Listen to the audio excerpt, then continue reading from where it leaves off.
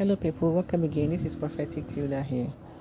Whatever it is that the wicked is planning against the people of God, the Lord will put it to an end because He says affliction will not arise a second time. He said in His word that whatever you, whatever you plot or devise against the Lord, He will bring to an utter end. Okay, He doesn't need a second try to end it all.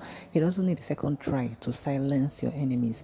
Okay, that trouble that you have been going through because the, the, the, the wicked put you in that spot when the Lord says that there is time, when the Lord when the Lord strikes, He will not need to strike again. It, it will end completely. Okay, you are not you are not suffering. That you see that cycle that you have been in. You see that problem that has been there. The Lord is bringing it to an end. And guess what? He's not just bringing it to an end. He is saying that it is not coming back. He is saying that you are not experiencing it a second time. He is saying that the enemy will not get that opportunity to, to, to ruin your life again, to cause you that pain again. Whatever it is, that sickness, that disease, you know, that situation, that troubling situation, that disgrace that they brought upon you, that was manipulated by the forces of darkness against you, that was a conspiracy where false witnesses uh, rose up against you.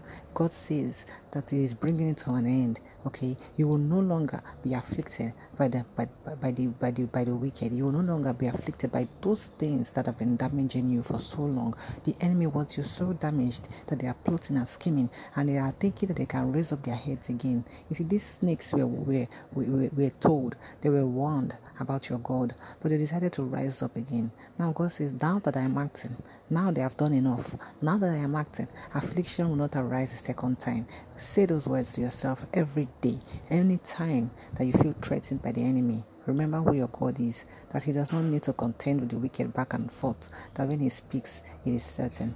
I'll see you next time. Take care of yourselves.